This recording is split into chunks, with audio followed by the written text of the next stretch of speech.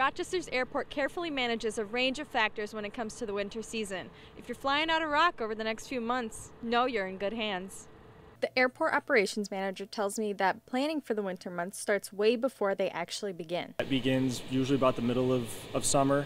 Um, you know, all of the material ordering that we have to place um, as far as our runway de-icing chemical, our airfield safe de-icer melt because we don't use salt. Um, the sand, you know, we ordered over 20,000 tons of sand that will be utilized for, you know, traction out there on the airfield during those icy conditions. He goes on to say why the airport does not use salt on the runway. Because it's corrosive and um, it's corrosive to the aircrafts. Uh, so, you know, we use a specialized sand for, you know, traction. Doesn't really help with the ice melting, but it definitely helps with traction. Sean Cleary says they have about 40 different machines ready to take on any kind of weather, including nine jet brooms that he says keep the process smooth. From that snow, first snowflake, because we don't use salt, um, we need to make sure that we're out there and clearing it as fast as possible.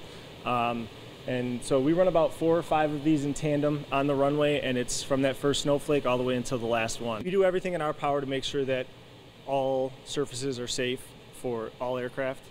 Um, you know, and, and that's we, we, we are nationally recognized for our snow and ice control plan and our operations um, across the whole aviation community. You know, this airport is very uh, we're proud of that. Reporting in Rochester, Adelisa Badzik, News 8.